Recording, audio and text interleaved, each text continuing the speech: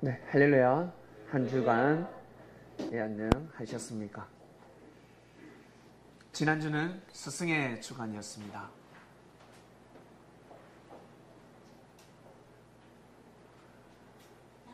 한 주 동안 주님의 은혜를 생각하는 시간이었습니다. 지난 날을 생각해 보았습니다. 주님을 만나지 않았더라면 어, 어떻게 됐을까? 주님을 그 전에도 믿었었는데 주님을 찾았고 주님을 통해서 하나님이라는 존재도 알았습니다. 그냥 내가 믿는 하나님이 다라고 생각했습니다. 아, 하나님은 이러한 분이시구나. 그리고 내 삶 가운데 이렇게 하나님을 섬기며 사는 되는구나 라고 생각을 했었는데 막상 주님을 만나고 나서는 내가 생각하는 하나님이 아니었습니다. 평소에 내가 생각하는 하나님은 제가 너무 어렸던 것 같습니다. 너무 어린 믿음 생활을 하고 있었습니다. 주님을 통해서 하나님의 존재를 알고 보니까 내가 참 많은 오해를 했구나. 내가 너무 몰랐다. 너무 모르고 살았구나. 내 생각대로 하나님을 판단했구나. 이 세상은 그러한 세상이 아닌데 하나님의 세상인데 내가 잘못 생각하며 살았구나라는 것을 알게 되었습니다. 베드로가 그런 마음이었습니다. 그래서 베드로가 예수님한테 고백을 합니다. 주는 그리스도시요 살아계신 하나님의 아들이시나이다. 그 시대에 많은 사람들이 고백을 했지만 베드로도 고백을 합니다. 그런데 베드로의 고백은 다른 사람들의 고백과 달랐습니다. 그래서 성경에 기록되었습니다. 하늘 앞에 기록되어졌습니다. 하나님 보시기에 합당한 고백이었습니다. 하나님은 입술을 보지 아니하시고 소리를 듣지 아니하십니다. 마음의 소리를 들으십니다. 입술의 소리를 듣지 아니하시고 마음의 소리를 듣습니다. 입술의 소리를 듣고 산다면 말 못하는 사람들, 말이 좀 어눌한 사람들은 불쌍하지요. 그리고 벙어리도 있습니다. 말 못하는 사람들은 너무 불쌍하지 않습니까? 예전부터 찬양 들을 때마다 전에서 내려오는 은혜스러운 말이 있는데 우리의 한창 신앙의 선배입니다.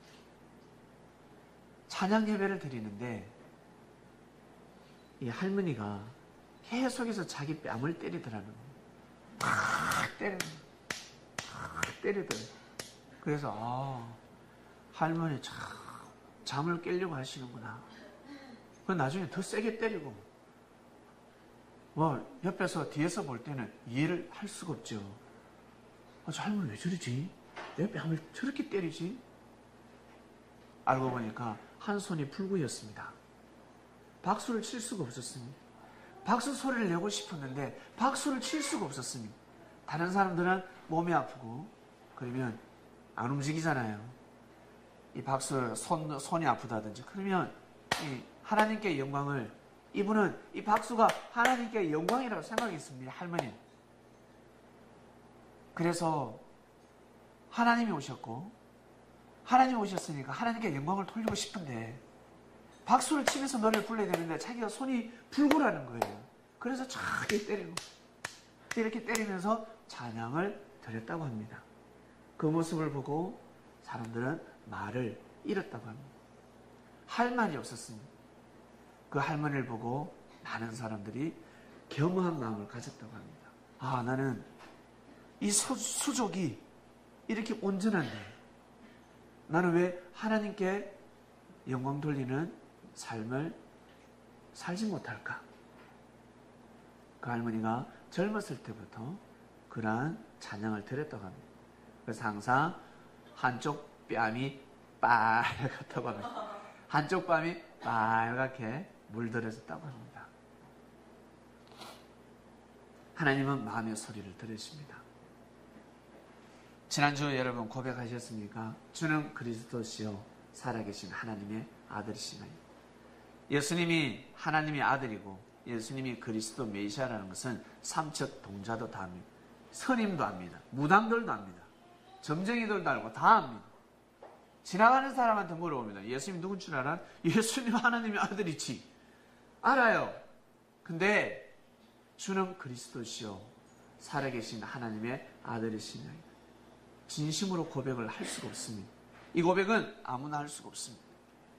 진짜 예수님을 주님으로 생각하는 사람, 내 삶의 님으로 생각하는 사람만이 고백을 할 수가 있습니다. 나의 생명이 되시는 분이다라는 그런 마음을 가진 사람만이 고백을 할 수가 있습니다. 창명교회 성도들은 이런 고백을 하시는 분들이 되시길 바랍니다. 꼭 이런 고백을 하시길 바랍니다.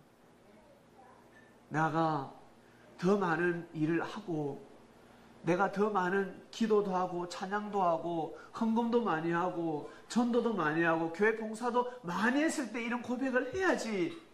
이것은 아주 교만한 생각입니다. 자기 생각입니다.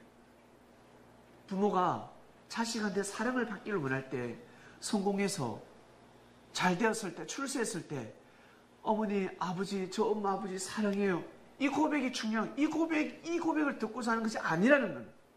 현재, 지금 부족하면 부족한 대로, 어리면 어린 대로, 지금 현재, 현재 순수한 그 모습 그대로 부모님께 나오길 원합니다. 부족하면 부족한 대로. 엄마, 아빠, 내가 성공하면 엄마, 아빠 갈게요. 그런 사람은 평생 성공 못합니다. 평생 성공할 수가 없습니다. 스승의 주관입니다. 였습니다. 여러분들의 멘토가 있지 않겠습니까? 살아오시면서 여러분을 인도해 준 스승이 있을 것입니다. 초등학교면 초등, 중학교면 중학, 중학, 고등학교면 고등학교, 대학교면 대학교, 아니면 산 가운데 만난 사람이 있을 것입니다. 사회생활 하다 만난 사람이 있을 것입니다. 그 사람한테 전화를 합니다. 선생님, 제가 성공하면 꼭 찾아뵙겠습니다. 평생 못 찾아봅니다. 찾아볼 수가 없습니다. 자기가 생각하는 성공은 성장하면 성장할수록 성공의 개념이 달라집니다. 여러분 잘 한번 생각해 보세요. 과거에 목표를 정했던 거 여러분 목표를 이뤘습니다. 그 목표를 이룬 사람들이 너무나 많습니다. 그러나 시간이 가면서 그 목표는 또 달라집니다. 목표가 바뀌어집니다. 성공이 자꾸 바뀌어집니다. 현재 내가 현재 내가 이 부족한 마음을 가지고 하늘 앞에 꼭 나아가셔야 합니다. 여러분 은혜를 준 사람에게 꼭 나아가시길 바랍니다. 감사합니다. 정말 고맙습니다. 이 한마디면 됩니다. 지난주는 스승의 주간이었습니다. 여러분 삶을 인도해 주신 스승이 있다면 그 스승을 영원히 잊지 마시길 바랍니다.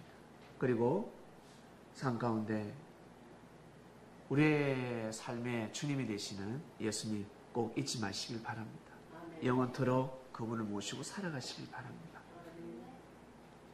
그러면 첫째 계명, 둘째 계명 다 지키는 겁니다. 다 지키. 정말 정말 완벽한 삶을 살아가는 겁니다. 살아가면서 내가 성질이 좀 더럽고 가다가 또 어때요? 술만 먹으면 부락 화, 우리 술 드시는 분은 없지만 감정에 취해서 막 어때요? 뭐 성질 부리는 사람도 있습니다. 나는 이걸 고쳐야 되는데 그거 고치기 힘들어요. 정말 고치기 힘듭니다. 언제 고쳐진 줄 아세요? 육신이 쇠약해질 때 나의 60이 넘어가고 70이 넘어가고 70대도 빠락빠락하면 80대가 되면 그거는 이제 쇠약해지기 때문에 이제 어인이 됩니다. 아, 막 부처입니다. 부처. 말이 없습니다. 말이. 80이 됐는데도 빠락빠락 그러면 90이 되면 소리를 못 지릅니다. 소리 지르면 어떻게 됩니까? 털리고 빠져나오죠. 어버버버버버. 90이 돼도 소리 지르 100세가 되면 소리를 못 지릅니다. 말을 할 수가 없습니다. 반드시 때가 되면 바뀌어집니다. 그 지난 날을 다 회개합니다. 그렇게 해서 의인이 되는 것이 아닙니다. 첫째 계명, 둘째 계명 젊었을 때 지키시길 바랍니다. 그러면 온전한 삶. 이것이 바로 온전한 삶입니다. 이것이 바로 완전한 삶입니다. 감정을 조절하는 것이 완전한 삶이 아니라. 오늘 말씀의 주제는 이 시대의 표적입니다. 이 시대의 표적. 본문으로 들어갑니다. 말씀의 주제가 재밌지 않습니까? 누가복음 11장입니다. 27절. 이 말씀 하실 때 많은 말씀을 하셨는데 사람들이 주님의 말씀을 들으면 은혜스럽습니다. 어떤 사람들은 주님이 하시는 말씀마다 거슬립니다. 왜? 안티니까. 안티기 때문에 예수님 말씀을 하시면 그냥 싫습니다. 아닐 것 없습니다. 여러분, 여러분을 미워하는 사람을, 사람을 보면 그냥 싫지요. 그냥 싫습니다. 좋은 말을 해도 싫고, 맛있게 먹어도 저, 이, 저, 먹는 거 봐라. 옆에서 어, 맛있게 먹네 이러는데 미워하는 사람이 맛있으면, 아이고, 잘도 처먹는다. 이런 표현. 처먹는다 표현을 합니다. 옆에서는 너무 맛있게 먹는다. 그리고 막 웃으면 어때? 멋있잖아요. 아름답잖아요. 야, 멋있다 그러면. 미워하는 사람은 뭐라고 합니까? 저, 저, 아이고, 저 인상 좀 보래. 안 좋은 소리를. 못났다. 못났다. 저 화장한 거 봐라. 저. 아이고, 피 빨아먹고 왔나 그러면. 안 좋은 소리밖에 안 합니다. 모든 것이 싫습니다. 예수님을 안 좋게 딱 보는 순간 모든 것이 싫습니다.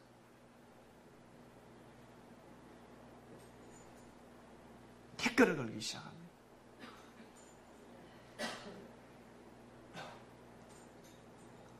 그리고 어떤 사람이 이런 말을 합니다.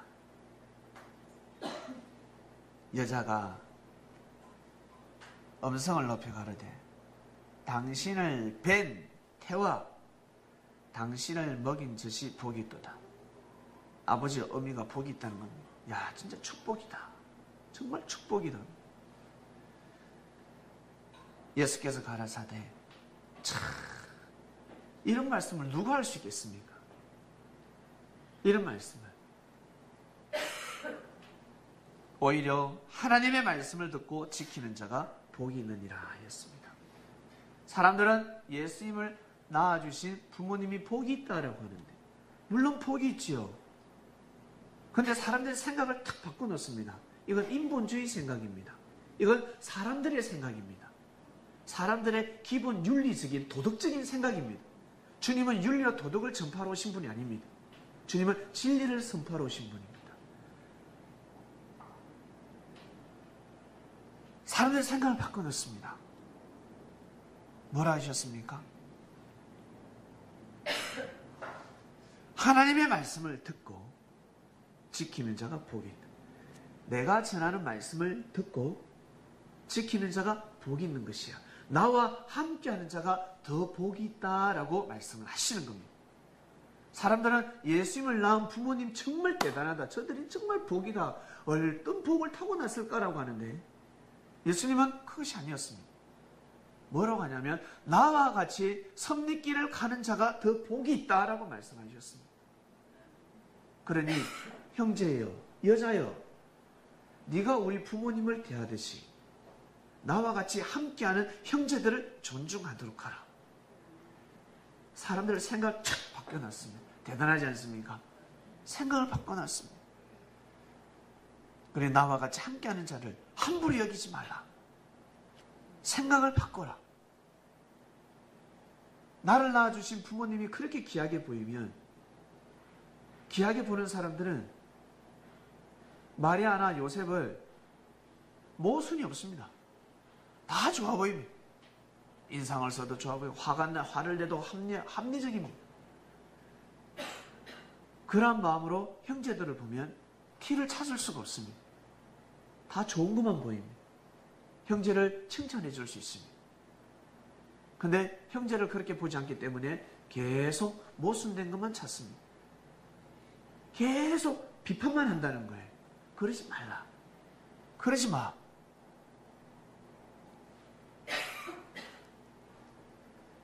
사람들의 생각을 바꿔놨습니다. 무리가 모였을 때 예수님이 또 말씀하십니다. 예수님이 어디를 가시나 말씀을 하십니다. 성경에 기록되어 있는 말씀은 아마 10분의 1도 아니 됩니다. 10분의 1도 아니 됩니다.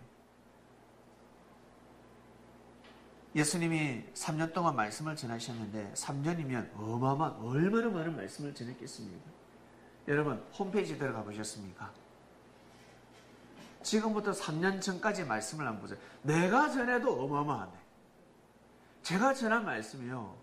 3년 동안 전한 말씀 A4지가 이 밑에서 엄청나게 어마어마해요.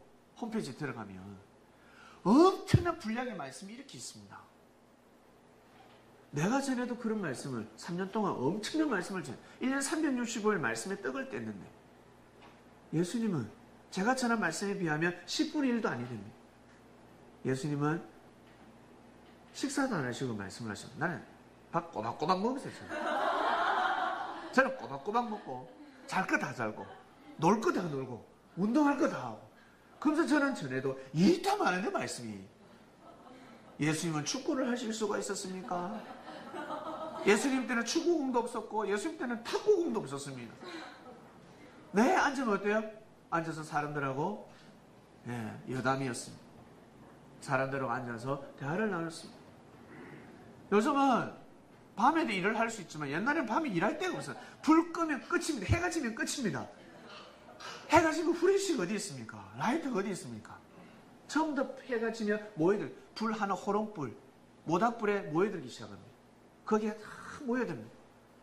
그래서 거기에서 예수님은 말씀을 전하십니다. 항상 말씀에 떡을 뗐습니다. 어마어마한 말씀을 전하셨습니다. 근데 이 성경은 빙산의 일각입니다. 빙산의 일각이 여기 기록이 되어 있습니다. 이 말씀을 보고 사람들이 함부로 예수님을 판단하지요. 이 말씀을 보고 사람들은 하나님을 함부로 판단합니다. 이 말씀을 보고 예수님을 신중하게 판단해야지. 이 말씀을 보고 하나님을 신중하게 판단해야지. 어찌 사람들이 그렇게 함부로 판단하는지 모르겠습니다. 성경을 푸는 사람들, 성경을 진리라고 하지 않습니까? 성경을 푸는 사람이 그리스도 메시아가 된다면, 재림주가 된다면 성경 쓴 사람은 하나님입니다. 성경 쓴 사람은 하나님일 거예요. 말씀을 조금 푼다고 재림주가 되지 않습니다. 자칭 그리스도 메시아가 되지 않습니다. 그래서 때가 되면 빛을 다 잃어버립니다. 완전한 진리가 성포가 되고 예수님이 얼마나 한이 맺히셨겠습니까? 제자들을 가르쳤습니다. 예수님은 대성을 대성나무는 떡잎부터 편한다고 예수님은 딱 보면 압니다. 딱 보면 미래가 보입니다. 그래서 저 제자에게는 아 말씀 28강의가 있다 그러면 한 3강만 가르쳐 줘야 되겠다. 한 4강만 가르쳐 줘야 되겠다. 다 안 가르쳐 줍니다. 딱 보고 가르쳐 줍니다. 베드로에게 28강의를 다 전해줬습니다. 다 가르쳐 줬습니다. 예수님이 영으로 역사하실 때, 예수님이 영으로 역사하실 때 사람들을 보지 않겠습니까? 사람들의 마음을 보지 않겠습니까? 예수님은 그토록 사랑하고 기도하고 정성 들이는 사람들의 마음을 보지 않겠습니까? 그 마음을 보고 부분적인 진리를 주시는 겁니다. 완전한 진리는 절대 주지 않습니다. 왜? 미래를 보시니까. 그러나 때를 정하셨고 예수님이 오셔서 영으로 역사하실 때 언젠가는 완전한 진리를 다 열으셔야 됩니다. 왜? 그 말씀을 가지고 천년을 가야 되기 때문에 그렇습니다. 때가 되면 판도라 상자가 열립니다. 때가 되면 모든 진리가 선포가 될 때가 옵니다.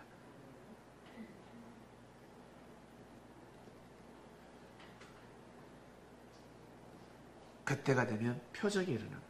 이 시대에 표적이 일어납니다. 사람들이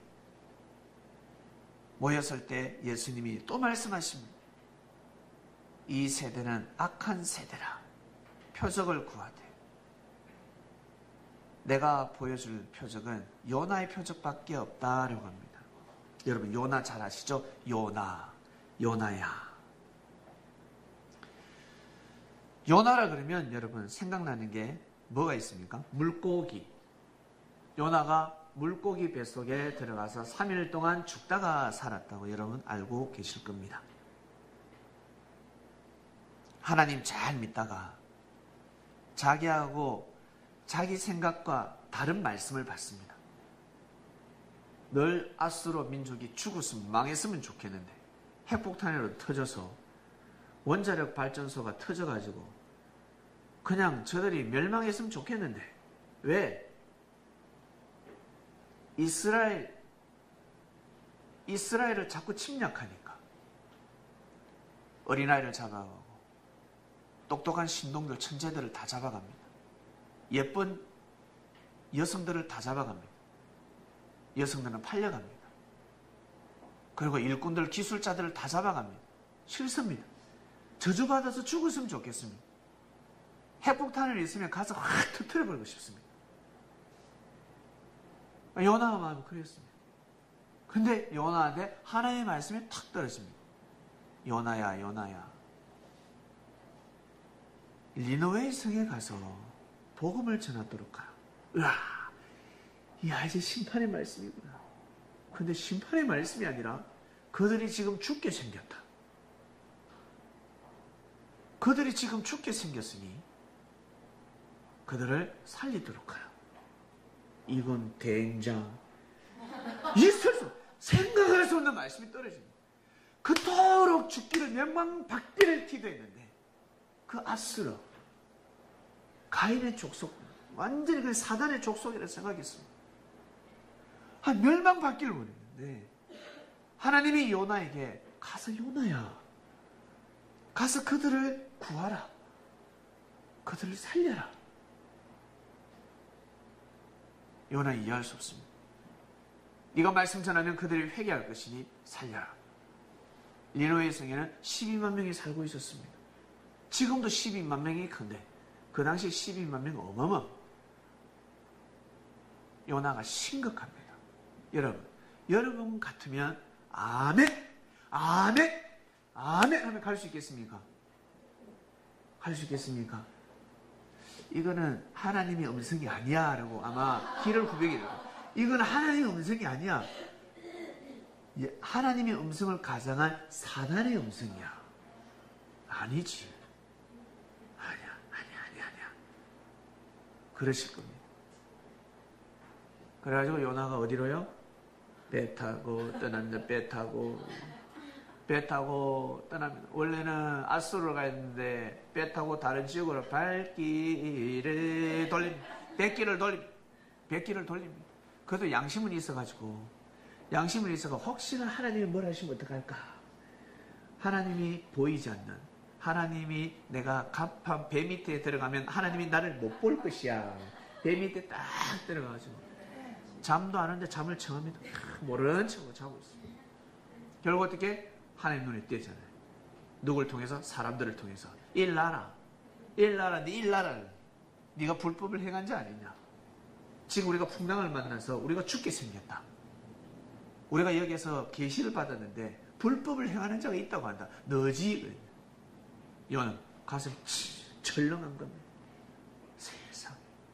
웃지 알고, 웃지 알고. 결국 어때? 바다 집어 던져버렸다고 했습니다. 그랬더만 눈을 탁 떴더만 어디? 고래 뱃속. 눈을 떴더만 고래 뱃속인 겁니다. 고래라는 것은 적히지 않는데 큰 물고기라 했습니다. 큰 물고기는 뭐 고래지 않겠습니까? 상어는 상어는 삼킬 수 없으니까 이 고래입니다. 고래. 요나가 3일 동안 고래 뱃속에 있다가 죽다가 살았어요. 이제 나옵니다. 나중에 어떻게 해변가에 팩! 뱉어 고래가 팩! 뱉더니 그때 슝! 날라가지고 해변가에 톡! 나왔다 옵니다. 이야, 이러한 역사가 있었다 합니다. 여러분 알아서 깨달으시길 바랍니다. 한번 깨달으시길 바랍니다. 이 도대체 어떤 일일까? 요나는 하나님의 말씀을 어겼습니다.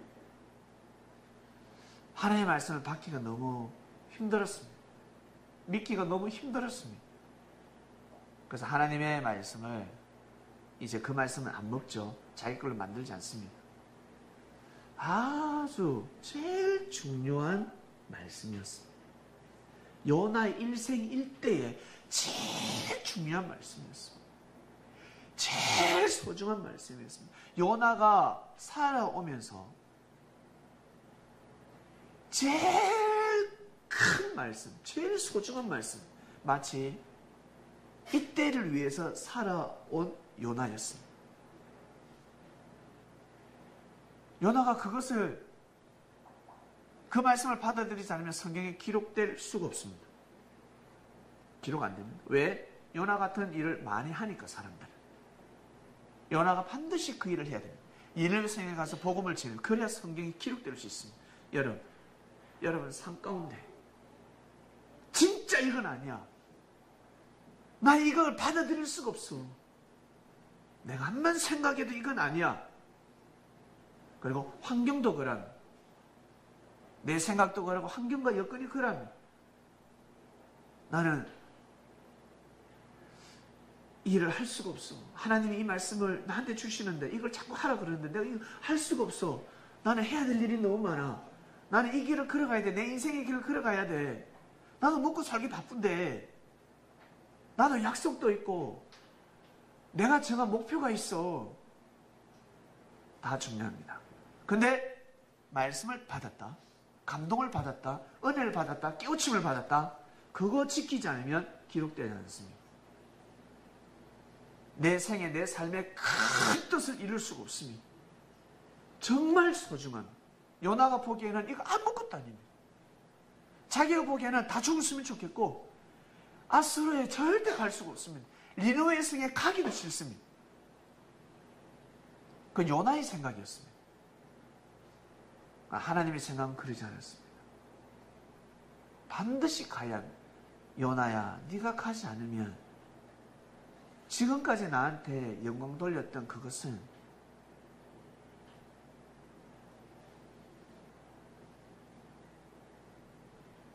표적이라 할 수가 없다. 네가 이 시대에 표적을 보여야 되지 않겠냐. 가라. 가라. 아브라함도 그랬으며 이삭도 그랬고 야곱도 요셉도 그랬습니다. 자기 생각대로 하나님을 섬기고 믿었던 사람들은 성경에 기록되지 않습니다. 이름만 살짝 기록됩니다. 요셉이가 왜 기록되었을까? 그 많은 제자 아들들 중에 요셉이 아주 두드러지게 기록이 되어져 있습니다. 요셉은 자기 생각대로 삶을 살아가지 않았습니다. 하나님의 말씀을 주시고 삶 가운데 항상 말씀을 의지했습니다. 자, 요나의 표적을 말씀하셨습니다. 요나는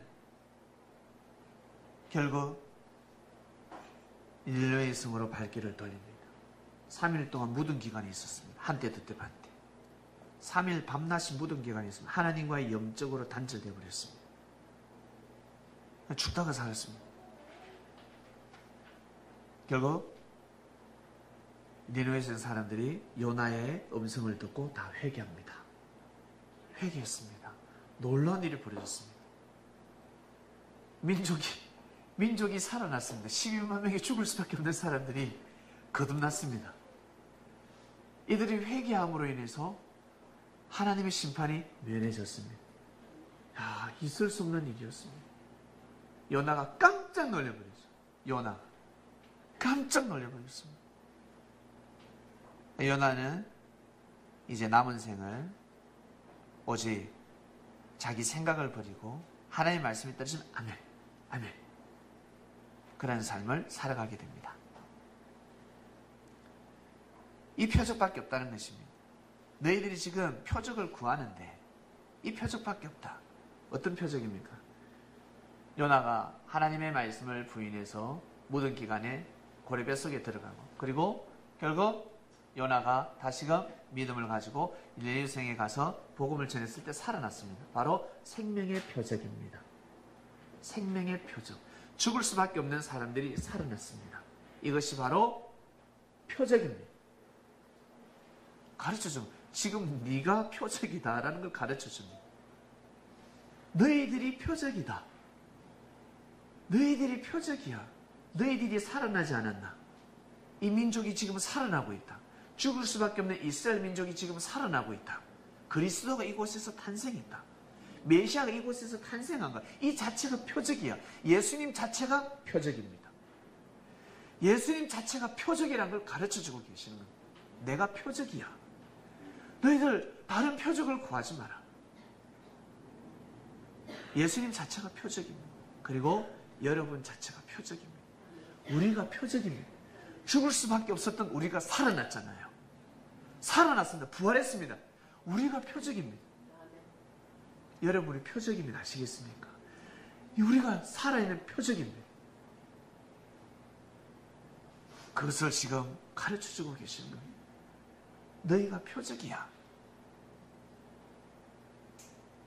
연하의 표적밖에 없다. 30절. 요나가 니느웨의 사람들에게 표적이 됨 같이 인자도 이 세대 그러하리라. 요나가 니느웨에 가서 복음을 전하니까 어떻게 됐습니까? 사람들 처음에는 우습게 여기는 것 같다가 왕이 아멘 해버리니까 왕이 아멘 하니까 백성들은 그냥 울며 켜자식으로 아멘 할 수밖에 없습니다. 아씨. 궁시렁 궁시렁. 그러나 어떻게 해요? 저울질을 해보니까 하나님이 있는 사람들의 마음의 양심을 보신 겁니다. 아, 이들이 회개하는구나. 결국 죄를 사해 주셨습니다. 사람들이 죽을 수밖에 없는데 살았습니다. 그래서 요나가 표적이었습니다. 이야, 요나 첫사람. 저 때문에 우리가 살았다. 표적입니다.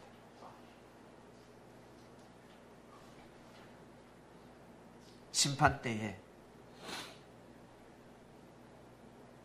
아 30절 다시 보겠습니다. 30절 요나가 니누의 사람들에게 표적이 됨같이 인자도 이 세대 그라리라. 예수님이 표적이라는 겁니다. 내가 이 시대 표적이다. 내가 이 시대 표적이다. 지난주 스승의 주간 때 여러분 나름 우리가 몇 년 동안 말씀을 먹고 시행착오도 겪으며 배탈 나기도 하고 어쩔 때는 설사 쫙 하기도 하고 어쩔 때는 식중독 걸려가지고 해롱해롱 하기도 하고 그러면서 어때 말씀이 몸에 피와 살이 되기 시작했습니다. 한 1, 2년, 3년 겪어왔습니다. 스승의 주간 때 어땠습니까? 여러분 사람들 만나서 대화해 보니까 우리 간정들 몇 사람들한테 간정을 들었습니다.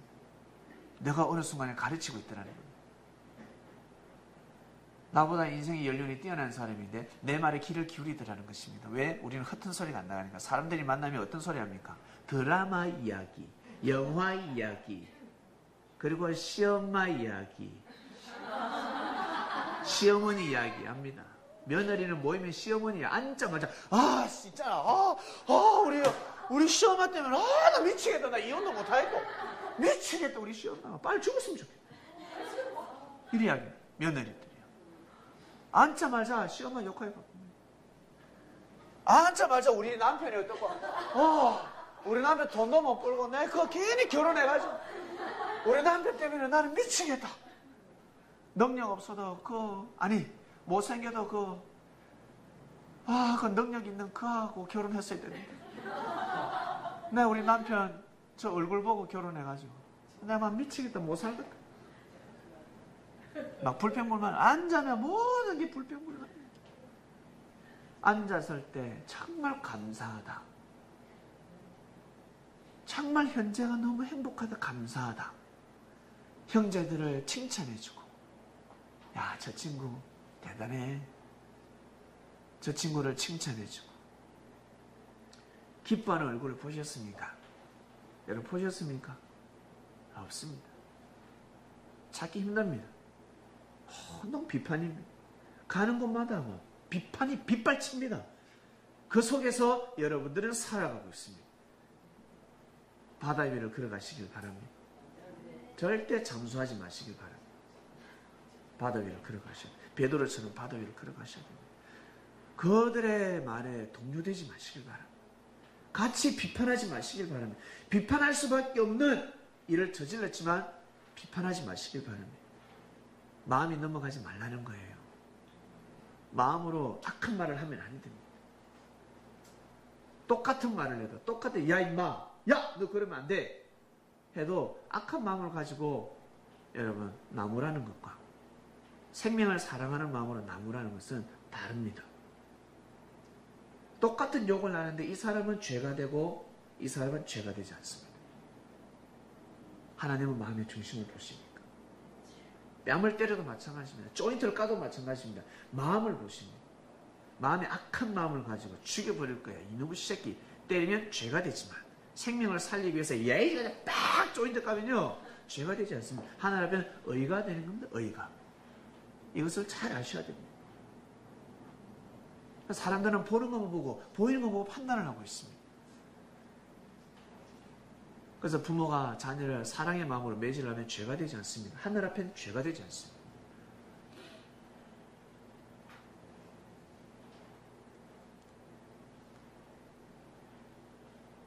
지난주 스승의 주간 때 여러분들 표적이 되었습니다. 직장에서 표적이 되었지요. 여러분들을 바로 표적. 야, 저 사람 대단한 사람이야. 저 형, 저 대단한 형이야. 저 누나 대단한 누나야. 표적이 되기 시작합니다.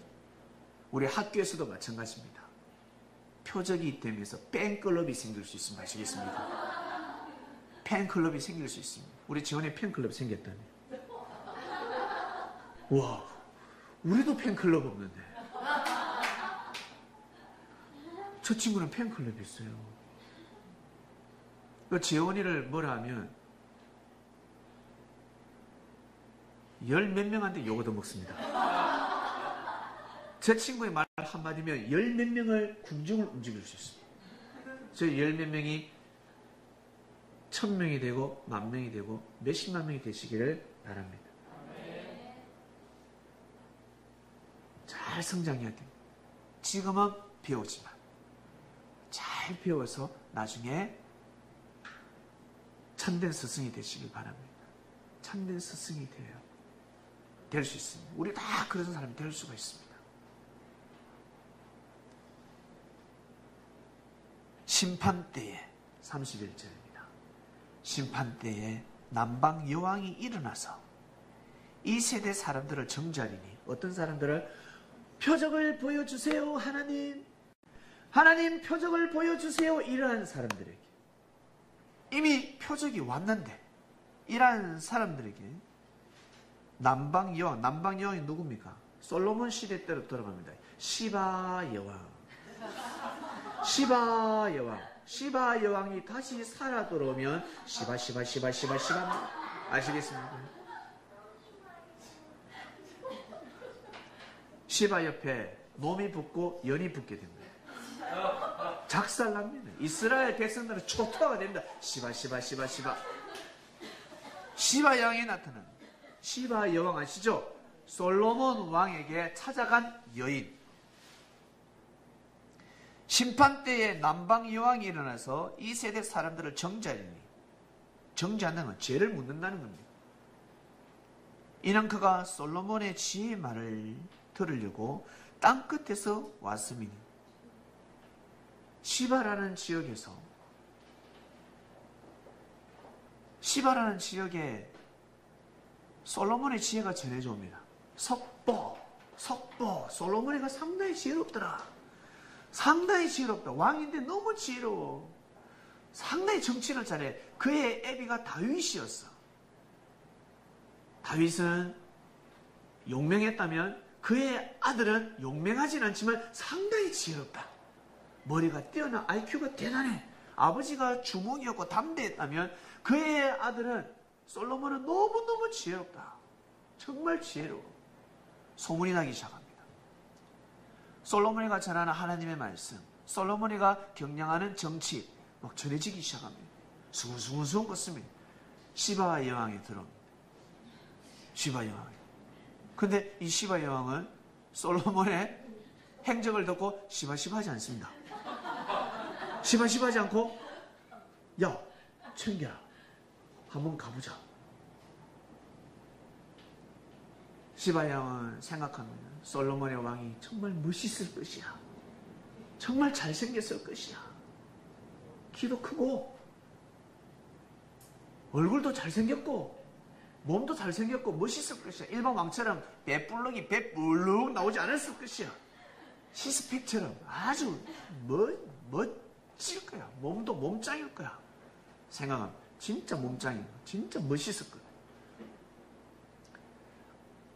시바야 왕이 가자고 합니다.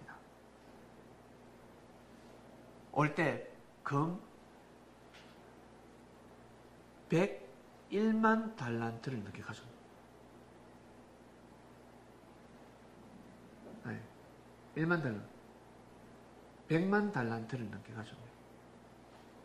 금을 가져올 때 어마어마하게 또 우리가 옆집에 우리 놀러 갈 때 여러분 빈손으로 갑니까? 아이스크림 여름에 더울 때는 아이스크림 하나 사가져 갑니까?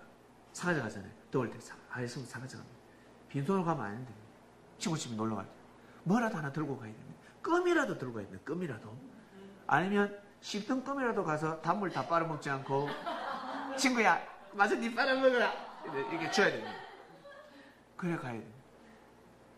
뭐라도 들고 가야 되죠. 근데 왕이 오는 거 왕이. 왕이 이웃 나라에 올 때는 그냥 오지 않습니다.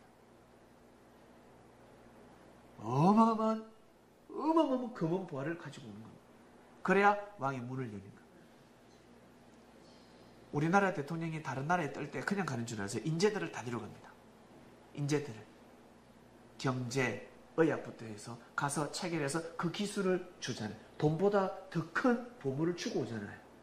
우리가 의학을 전해주겠다. 우리만의 군수 물자를 전해주도록 하겠다.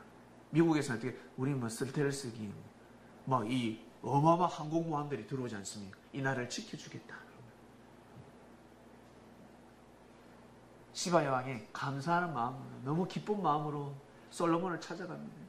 그런데 시바 여왕을 호위하는 무사들은 시바 시바 시바 시바 같습니다. 또 왜 그것까지 가야 되냐는 거죠. 근데 예, 시바 여왕이 솔로몬을 찾아갔을 때 깜짝 놀래버려요. 솔로몬이가 정치하는 모습으로 깜짝 놀래버려요.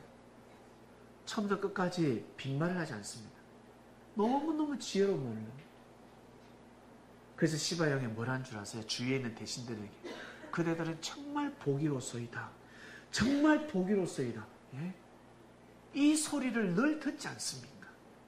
지혜로운 말을 여러분들은 늘 듣지 않습니까? 나는 이 말씀을 들으려고 먼 길을 왔습니다. 시바 여왕은 가치를 하는 겁니다.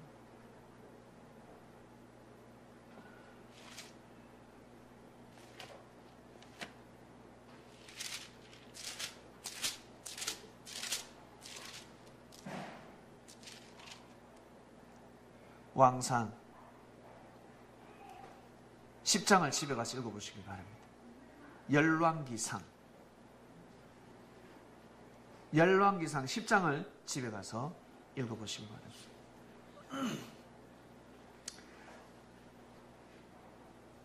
성경에는 서바 여인으로 기억되어 있습니다. 서바 여왕. 시바 여왕이 솔로몬의 지혜를 듣고 깜짝 놀랍니다. 건축한 궁을 보고 깜짝 놀래버리고 시바 영한테 뺀땡이 맞습니다. 졸다가 오늘은 그 상의 식물과 그 신복들의 좌석과 그 신하들의 시립 신하들이 솔로몬을 모시고 섬기는 모습을 보고 깜짝 놀래버려요. 모신과 섬기는 보고 깜짝 놀래버려요. 일반 사람들이 아니에요. 너무 빼어난 인물들이 있습니다. 멋있는 사람들이 옆에 있는 겁니다. 왕 옆에 멋있는 인물이 있어야 되지 않겠습니까? 깨지지한 인물이 있으면 아니 되는 겁니다. 왕이 빛을 발할 수가 없습니다. 격이 떨어집니다. 왕은 너무너무 지혜로운데 옆에서 모시고 섬기는 사람들 깨재재합니다. 관상도 안 좋습니다. 보기에 외모도 별로입니다. 왕의 격이 확 떨어져 버립니다. 최고 멋있고 아름다운 사람이 왕을 보필해야 되는 겁니다. 깜짝 놀랍니다. 자기 나라에 그런 사람이 없거든. 저런 장군이 없단 말이에요. 저런 여성들이 없단 말이에요. 근데 깜짝 놀라면 너무 멋있다. 왕의 격이 올라가기 시작합니다. 그들의 공복과 공복이 무엇입니까? 입는 예복입니다. 공적인 자리에서 입어야 예복도 예복이 너무 멋있고 아름다운 패션이 끝내주는 건데 패션. 일반 패션이 아닙니다. 격을 갖춰 너무 여러분 옷이 날개라고 옷이 날개라고 옷에 따라서 사람이 달려 보이지 않습니까? 옷을 잘 입어야 멋있는 옷을 입는 겁니다. 품위가 있는 옷을 입는 겁니다. 여호와의 전에 올라가는 청계를 보고 정신이 현황은 하나님의 전에 올라가는 청계를 보고 놀래버립니다. 현황은 정신이 나가면 황홀해져 버립니다. 깜짝 놀래져 버립니다. 시바 형이 이랬습니다. 그리고 솔로몬에게 당신 진짜 맞다. 진짜 이 민족은 하나님의 백성이다. 당신이 믿는 하나님이 진짜 하나님이다. 라고 시인합니다.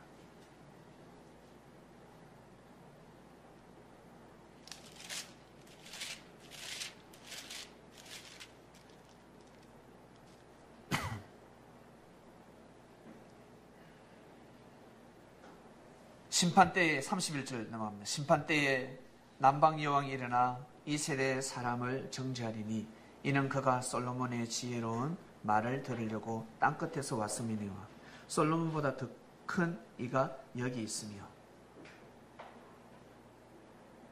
시바 여왕이 다시 살아나서 표적을 구하는 사람들에게 표적을 보여주는 것이 아니라 심판한다는 것입니다. 왜? 솔로몬이가 만난 아니 시바 여왕이 만난 솔로몬은 솔로몬을 보고 시바 여왕은 무릎을 꿇었습니다. 아멘 했습니다. 근데 솔로몬보다 더 큰 이가 왔음에도 불구하고 이들은 무릎을 꿇지 않습니다. 자꾸 표적을 구하고 있습니다. 그래 예수님이 나는 너희들을 상대하지 않겠다는 겁니다. 상대하지 않고 시바 여왕이 너희들을 상대해서 너희들을 아마 심판할 것이다 라고 말씀을 쳐버리는 겁니다. 여러분, 여러분들의 가치를 못 알아주는 사람 어떻습니까? 상대하고 싶습니까? 못 사서서 멀리 해버립니다. 32절. 심판 때에 리누웨이 사람들이 들고 일어나서 이 세대 사람들을 정죄하리니 이는 그들이 요나의 전도를 듣고 회개하였음니와 요나보다 더 큰 이가 여기 있느니라. 요나보다 더 큰 이가 여기 있다는 겁니다. 그래서 리누웨이생 사람들이 들고 일어나서 어때요? 이스라엘 백성들의 사람들을 때린다는 겁니다. 심판한다는 것입니다. 깨달으라, 깨달으라 말씀을 하셨습니다. 깨달을 수가 있습니다. 깨닫는 자만 깨닫게 되지요. 예수님은 그 시대의 표적이었습니다. 표적이었습니다. 그리고 그의 말씀을 믿고 다른 자들, 제자들 또한 이제 때가 되면 표적이 되는 겁니다. 그 시대의 표적이 되는 겁니다. 예수님의 제자들의 말씀을 듣는 그 자체가 바로 예수님의 말씀을 듣는 것 같은 겁니다. 예수님이 가시고 없습니다. 베드로에게 천국의 열쇠를 주었습니다. 이 땅에서 반드시 풀어야 한다. 어떻게 푸는지 그 말씀을 가르쳐 주셨습니다. 그 말씀을 받아들이게 되면 삶이 풀어집니다. 삶이 풀어집니다. 여러분, 삶이 풀어져야 되지 않겠습니까? 여러분, 삶이 꼬여 있습니까? 문제가 있습니까? 그 풀어야 됩니다. 어떻게 풀 수 있을까? 그 여러분 생각으로 풀 수가 없습니다. 내 생각으로 살아봤잖아. 이렇게 살면 풀릴 것이야. 아니요. 그렇게 살면 풀리지 않습니다. 왜? 사람한테는 영혼육이 있기 때문에 그렇습니다. 내 몸이 너무 아파. 이거 풀려면 어떻게 해야 됩니까? 운동해야 풀 수가 있습니다. 자기 생각으로 풀 수가 없습니다. 오늘 쉬면 낫겠지. 천만의 말씀. 쉬면 피로가 더 누적됩니다. 일어나서, 일어나서 운동해야 됩니다. 그러면 몸을 풀 수가 있습니다. 피로가 사라집니다. 마음도 짜증이 난다고, 술 한잔 한다고 그것이 사라집니까? 아니요. 마음을 바꿔야 됩니다. 좋은 생각을 가지면 풀 수가 있습니다. 근데 한 가지 더 사람한테는 영이라는 존재가 있습니다. 반드시 하나님을 믿고 섬겨야 합니다. 하나님을 믿고 섬기는 마음이 그냥 됩니까? 말씀을 반드시 들어야 합니다. 진리를 반드시 알아야 합니다. 하나님의 존재를 반드시 알아야 합니다. 예수님은 그 말씀을 가르쳐 주셨습니다. 6월절마다 떡에 대한 말씀을 하셨습니다. 왜 배가 고프니까. 여러분 의식주 문제가 제일 제일 걱정이잖아. 의식주. 잘 먹고 싶고 잘 입고 싶고 좋은 곳에 자고 싶잖아요. 의식주 문제를 풀어야 합니다. 의식주 문제를 해결해야 합니다. 주님은 의식주 문제를 해결해 주러 오셨습니다. 주님을 믿고 따르는 제자들은 의식주 문제가 다 해결되었습니다. 그래서 너희들 갈 때 빈손으로 한번 가봐라. 커리어, 캐리어 그거 끌고 가지 말고 빈손으로 한번 가봐라. 빈손으로. 가면 다 준비되어 있다. 다 준비되어 있으니 그냥 한번 가봐라. 제가요, 준비되고 예배되고 주님한테 말씀을 배우고 와서 서울에 오니까 다 준비되고 예배되었습니다. 장로님 근사님이 저, 모, 저 집에 모시려고 언제든지 방도 비어 있으니 오셔도 됩니다. 그리고 식사도 여러분 초대하셨습니다. 너무 감사합니다. 전잘 곳이 이제 걱정이 없습니다. 옥탑방이 더우면 근사님 방 하나 주세요. 장로님 방 하나 주세요. 그러면 바로 안방을 내어주실 분이에요. 준비되더라는 거죠. 그 우리 바로 옆에 있잖아요. 우리 혜리님 집. 혜리님 방 하나 주지 않겠습니까? 주는 겁니다. 걱정이 없습니다. 먹을 거 걱정, 근심 걱정이 없습니다. 보여주신, 표적으로 보여주신 겁니다.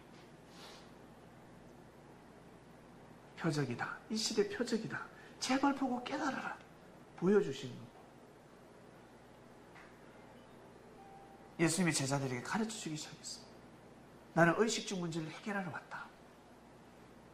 너희들 내가 주는 떡을 먹으면 영원히 배고프지 않다 그랬습니다. 영원히 배부르다 그랬습니다.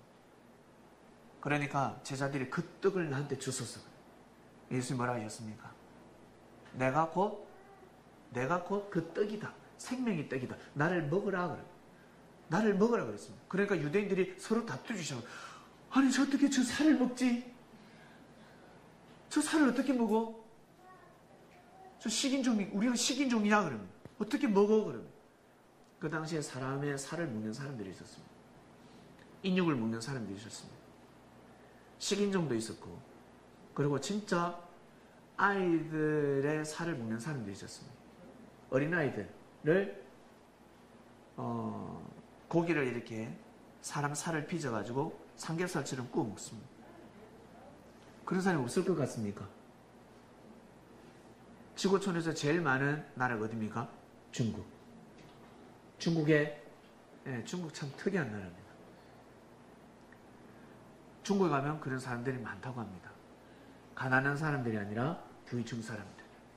부유층 사람들이 그렇게 즐긴다고 합니다. 어, 그처럼 예수님 시대 때 진짜 살을 먹는, 진짜 사람을 잡아먹는 사람들이 있었습니다. 그래서 이 말씀이 선포된 겁니다. 이 시대도 그런 것처럼 그 시대도 그런 사람들이 있었기 때문에 그러니까 예수님이 내 살을 먹으라 하라고 합니다. 그럼 막 다투, 다투기 시작. 유대인들 어떻게 그 살을 먹냐고. 내 살을 먹어라. 내 피와 살을 먹도록 하라. 그러면 영생하리라고 합니다. 이거 풀 수가 없어요. 아니 어떻게 지 살을 먹으라 그러지? 저 살을 어떻게 영생할 수가 있지? 나는 하늘에서 내려온 산떡이니 라고 했습니다. 나는 하늘에서 내려온 산떡이다.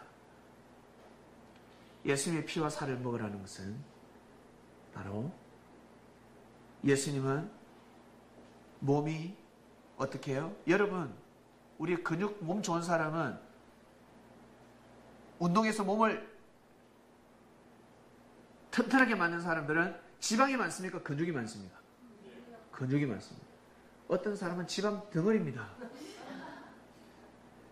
근데 어떤 사람은 근육 덩어리입니다.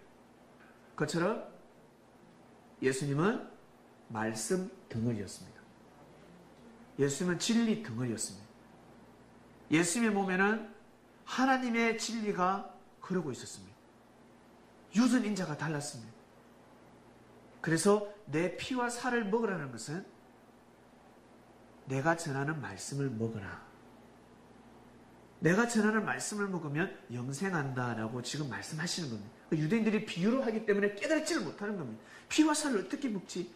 내가 주는 피는 음료요. 이 피를 먹으면 영원히 목마르지 아니하리라 그럽니다. 진짜 피라고 생각합니다. 어떻게 그걸 먹어? 그럽니다. 피는 생명을 뜻합니다. 피가 없으면 사람이 죽습니다. 생명의 말씀을 먹으라. 이 말씀을 먹어야 돼. 가르쳐 주시는 겁니다. 한 번은 6월절이었습니다. 6월절 때 사람들이 모이기 시작. 예수님이 모여한 5천 명이 정도 모였습니다. 오병이어 역사 아시죠? 오병이어. 오병이어. 5천 명 정도가 모였습니다. 예수님이 딱 보고 왜 모임에 항상 먹을 것이 있어야 되니까. 우리 예배 후에 먹을 것이 있습니다. 예배 후에 우리 먹을 것이 준비되어 있습니다. 예배 후에 먹을 것이 없다. 은혜스럽지 않은 예배가. 예배가 은혜스럽지 않습니다. 반드시 예배 후에 먹을 것이 있어야 은혜스럽습니다. 예수님이 항상 생각하시면서 밥 준비됐냐, 떡 준비됐냐. 빌리바, 빌리비가 계산이 빨랐거든요. 딱 보면 알아서 머리숱 딱 착착착착착 200데나리온의 떡이 필요합니다. 200데나리온의 떡이 필요합니다.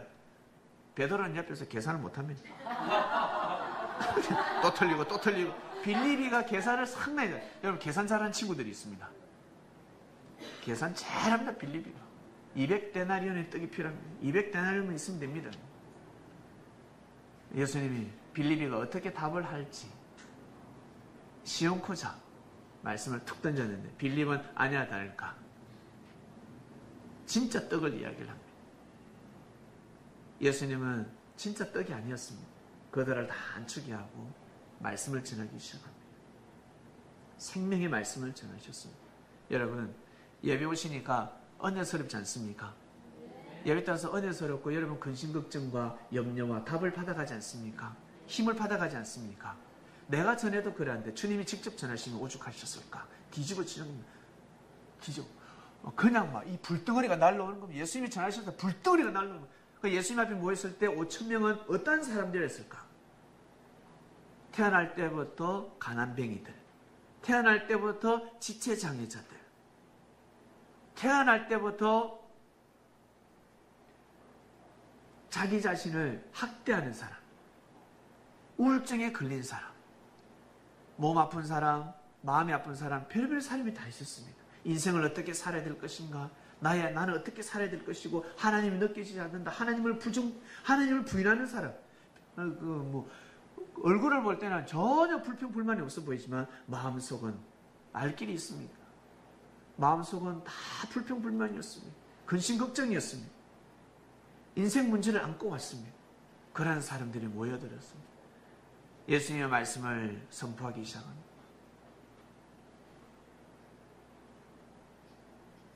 예수님이 떡을 떼기 시작하셨습니다. 어떻게 떡을 떼셨습니까? 어린아이가 물고기 두 마리와 떡 다섯 개를 가지고 있었습니다. 거기에 축사를 따가고 5천 명에게 이제 떡을 떼주기 시작합니다. 그러니까 5천 명이 배불리 먹고 남은 조각만 12바구니에 가득 찼다 했습니다. 놀라운 일입니다. 이것이 바로 오병이의 역사입니다. 그래서 역시 예수님은 구세주야 메시아야 대단해 그러지 않습니까? 성경을 모르기 때문에 그렇습니다. 오병이의 역사는 진짜 떡이 떡을 떼어서 예수님이 5천 명을 먹인 것이 아니라 말씀의 떡을 떼신 겁니다. 5천 명을 영혼을 배부르게 만들어 버렸습니다. 배불리 먹였습니다. 사람들이 심령이 가난했는데 이제 심령이 부자가 되어 버렸습니다. 근심 걱정이 있었는데 근심 걱정이 없어져 버리고 내셨는데 사람들이 병이 나아져 버리는 겁니다. 사람들이 그토록 비전이 없었는데 인생에 비전이 없었는데 예수님 앞에 와서 말씀 듣고 그들이 어때요? 비전이 희망이 생긴 겁니다. 너무너무 이제 세상이 아름다워 보입니다. 내가 태어날 때부터 나는 부족한 사람이었지만 이제는 부족한 사람이 아닙니다. 행복한 사람이 되었습니다. 시바 양한테 뺀때기 많습니다. 오늘은 시바 여인이 등장합니다.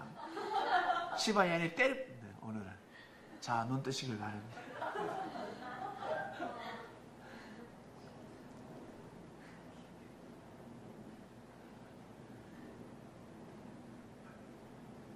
오천 명이 배불리 먹었습니다.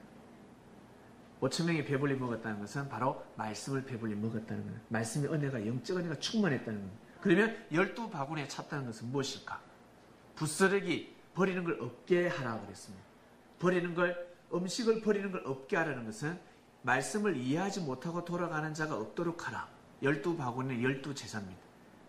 5천 명에게 무리가 모였는데 이 마이크가 없었잖아요. 없었으니까 말씀을 전할 때 한계가 있습니다. 조는 사람은 분명히 조는 사람이 있어요. 말씀을 전할 때 조는 사람, 딴 생각하는 사람, 소변 보러 갔다 오는 사람, 궁시렁궁시렁 친구들끼리 대화하는 사람, 말씀을 들어와서 예수님이 좋아서 왔는데 어때? 말씀을 이해하지 못하는 사람들이 있습니다. 그냥 돌아가지 않도록 하게 하라. 다 이해시켜라. 열두 제자들이 소그룹 모임을 하기 시작합니다. 구역 예배를 드립니다. 오늘 주님께서 전하신 말씀은 이 시대의 표적에 대한 말씀을 전했습니다. 예수님이 표적입니다. 이 시대의 표적입니다. 말씀을 부스르게 말씀을 전해주는 겁니다. 이해를 시켜줬다는 겁니다. 그 사람들이 다 이해하고 돌아갔다라는 그 표현을 한 것입니다. 열두 바구니에 가득 찼더라. 제자들이 할 도리를 다 했다는 뜻입니다.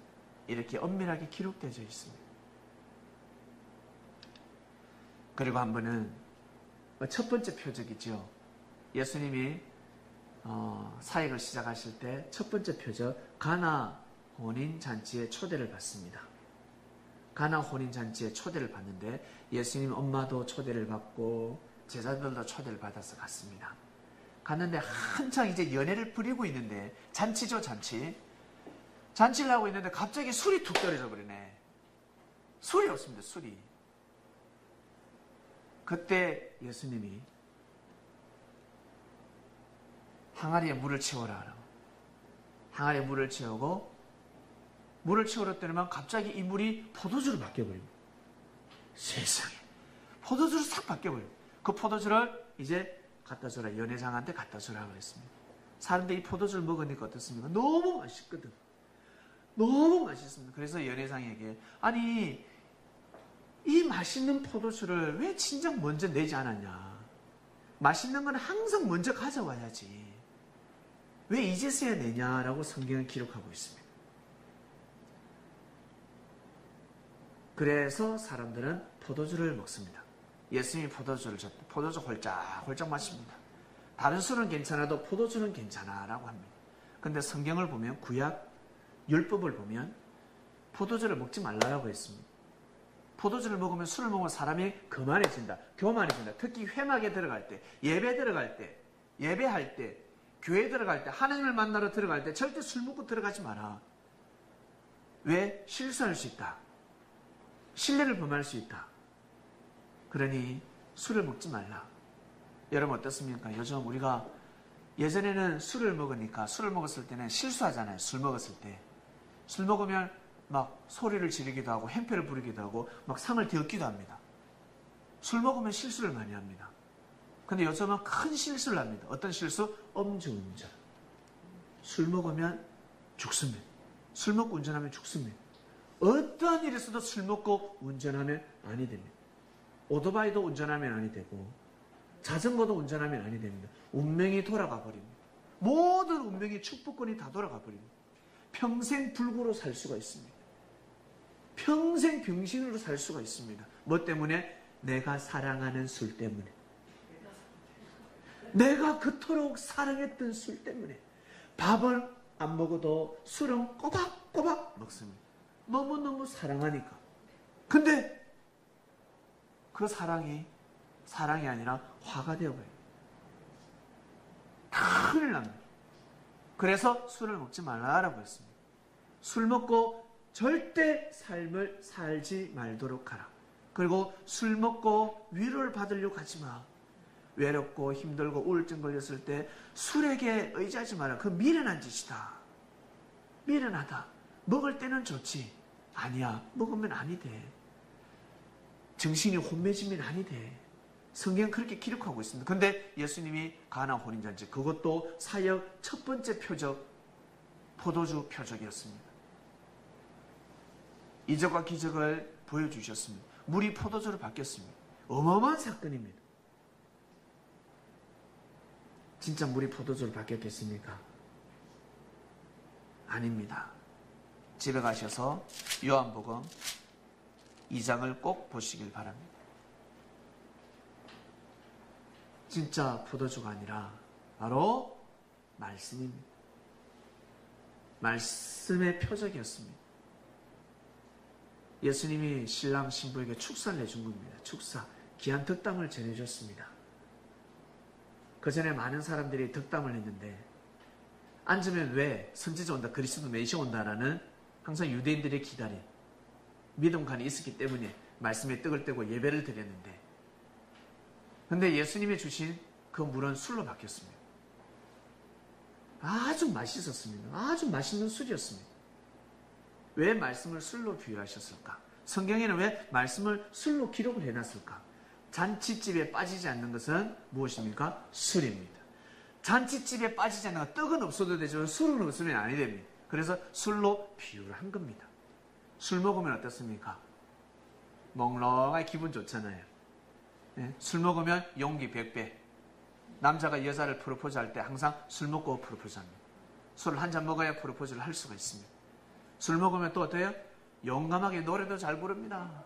노래방에서 마이크 놓질 않습니다. 마이크 잡고 내 노래를 부르고 막 덩실덩실 춤을 춥니다. 그래서 술로 비유를 한 겁니다. 그리고 6월절에는 말씀을 떡으로 비유하셨고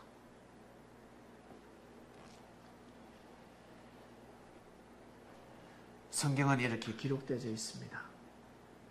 사람들에게 많은 말씀을 주셨습니다. 주님이 주신 말씀은 영생의 말씀이었습니다. 하나님을 사랑하고 생명을 사랑할 수밖에 없는 말씀이었습니다. 제일 큰 표적이 무엇이겠습니까? 살아가면서 여러분 제일 큰 표적. 여러분 부모님을 기쁘게 해보셨지요? 여러분 부모님을 기쁘게 해보셨을 겁니다. 어느 때? 그럴 때. 우와! 일어났다! 일어났다! 일어났다! 부모가 박수 치잖아요. 할아버지가 날립니다. 우와! 저놈 일어났다! 일어났다! 우리 아가, 우리 손자가 일어났어! 네 발로 기어다니는데 네 발로 기어다니다가 갑자기 불떡 일어났습니다. 일어났다, 일어났다, 일어났다. 한 발짝, 한 발짝. 한 번, 두 번, 세 번, 만세! 그러잖아요. 좋아가지고 뭐 할아버지가 우와 우리 손자가 걸었다는 거예요. 그게 뭐가 그렇게 기쁘다고? 그게 뭐가 기쁘다고? 부모가 되어보면 기쁩니다. 내가 낳은 새끼가 그리고 내 뒤에 그 손자가 그러면 너무 예쁜 거예요. 그러면 너무 예쁜 겁니다. 아무것도 한 거 없어요. 걷기만 걸었을 뿐인데 애가 걸었을 뿐인데 너무너무 기쁜 거야. 표적입니다. 표적. 일어섰다는 자체가 표적이고 걸어갔다는 자체가 표적입니다. 베드로가 바다 위를 걸어갔다는 자체가 표적입니다. 여러분 세상의 바다 위를 걸어가시길 바랍니다. 우리는 이미 세상 바다 위를 섰습니다. 섰고 지금 걸어가고 있습니다. 그래서 표적이 될 수밖에 없습니다. 어디를 가든지 여러분들은 눈에 띌 수밖에 없습니다. 예전에는 안 좋게 눈이 띄었지만 이제는 좋게 눈에 띄어야 됩니다. 좋게 눈에 띄어야 됩니다. 그런 곳에 오셨습니다. 의식주가 걱정이 되십니까? 앞날이 걱정이 되시는 분. 분 반드시 먼저 주님을 만나시길 바랍니다. 반드시 진리를 먼저 들어야 됩니다. 진리란 영적인 눈으로 딱 보면요. 보석입니다. 보석. 어마어마한 돈입니다. 엄청난 돈입니다. 돈. 돈 싫어하는 사람이 없잖아요. 지갑에 지금 제 호주머니에 이제 2천원이 있습니다. 왜 2천원을 넣었을까? 하나는 내 밥값, 하나는 대표 기도 하는 사람. 매주 대표 기도 하는 사람 좀 밥을 사줍니다. 이 보기에 뭐 가치가 별로 없겠지요. 근데 이것이 1억짜리라 생각하면 해보세요. 제가 2천원이 호주머니에 넣으니까 기분이 아무 기분도 없습니다. 이건 아무 기분도 없습니다. 근데 이게 2억이다. 2억이 내 호주문에 들어있다가 어깨 싹 올라가. 어깨. 기분이 하루 종일 기분이 묘한. 하루 종일 기분이. 옆에서 친구들이 무시합니다. 친구가 막 무시하고 그래요. 어, 내가 오늘 밥값 내가 계산할게. 1억짜리 수표입니다. 옆에 친구들이 아리가또 고자이마스. 완전 태도가 달라집니다. 나부터 달라집니다. 2억짜리 수표를 가지고 있으면 여러분 2억짜리 수표를 가지고 쇼핑 한번 하러 가보세요. 백화점에 가면 그냥 전부 다 이래가 올리지 않습니다. 완전 태도가 달라지는 거예요. 왜? 이게 돈이니까. 진리가 영적인 돈입니다. 하나님 보시기에 진리가 영을 살리는 음식이기 때문에 어마어마한 돈인 겁니다. 반드시 진리를 먹어야 됩니다. 그러면 육의 삶이 바뀌어지게 되어 있습니다. 동물은 아무리 진리를 전해줘도 삶이 안 바뀌어집니다. 개 갖다 놓고 말씀 한번 전해보세요. 그 개의 삶이 바뀌어집니다. 주기도문 해줘보세요. 바뀌어지는 거.